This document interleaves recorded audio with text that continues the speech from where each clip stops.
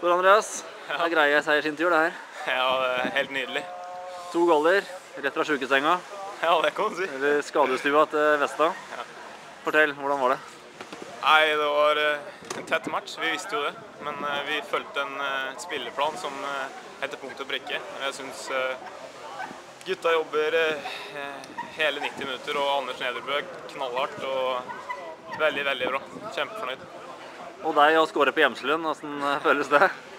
Det er jo litt spesielt, det, selvfølgelig. Det jo, eh, jeg hadde tre fine år på, på Hjemslund. og Alltid når jeg kommer hit, så blir det litt ekstra trøkk, og det liker jeg. Og Det er artig at eh, Førsund fyrer opp litt eh, rundt matchen nå, for det trenger jeg. Han fikk jo igjen. Han fikk så det sang, for å si det sånn. Eh, Litt om leggene dine, er diverse legger og ankler her. Hva er ståa? Nei, eh, ståa er jo at eh, jeg får jo en sliten ankel etter hvert. At eh, muskler blir slitne. For jeg har jo som sagt fått et lite brudd, eller det var jo et brudd. Og antageligvis river jeg av noen fibrer, og da tar det litt tid å bygge det opp. Og jeg må egentlig bare se hvordan det utvikler seg utover uka, men jeg er positiv, ja. Så får vi håpe Kim gjør en god jobb. To matcher, fire mål. Ja, det er som vanlig, det. ikke sant? Takk skal du ha. Bare hyggelig.